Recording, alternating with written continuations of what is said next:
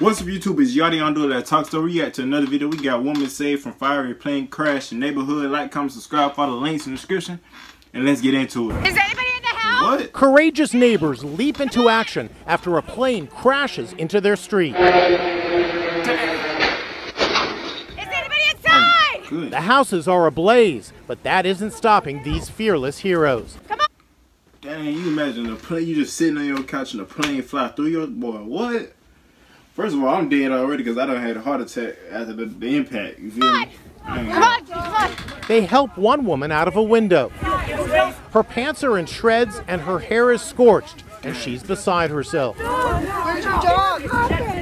Not everyone is safe yet. Oh. There's somebody back there. One rescuer pulls down a backyard fence, and they help the woman's husband to safety. Let him sit down. Let him sit down. The rescued woman is worried about her pet. Shout out to them neighbors, bro. They could have they could have simply just called the police and and stayed, and then people probably would have sat in there and died. But they jump into action. It was like I'm gonna help my neighbor. Love that neighbor. I'm telling you. The horror happened when a twin engine plane crashed outside San Diego as it was coming in for a landing.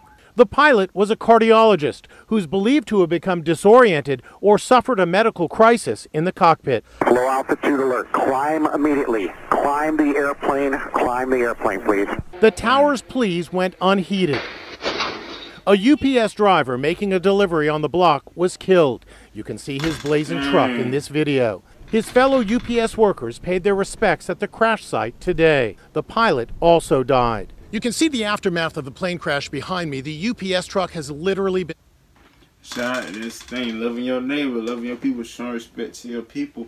They came out there and showed us, like you know they what, what's it called condolences to they man Lennon. Even though from even though he gone, he know it was love it was love down here for him. Torn in half. The cars and trucks parked in front of these two destroyed homes were incinerated. You can see debris from what appears to be the aircraft strewn about the street. In addition to the tremendous impact, there was also intense heat caused by the fire.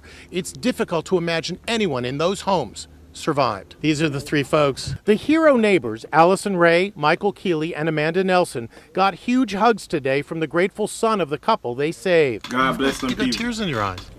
Uh, yeah, I mean, it's, it's a natural re- reaction to, you know, being around the people who saved you from being an orphan. I'm just thankful that we were all there and together to do what we did. Newlyweds Courtney and Cody Campbell were at work, but their new home was destroyed just a day after they finished renovating. obviously a really sad situation over overall and our hearts go out to you know anyone who lost their lives and the UPS driver A terrible tragedy, but proof there really are heroes among us. Is anybody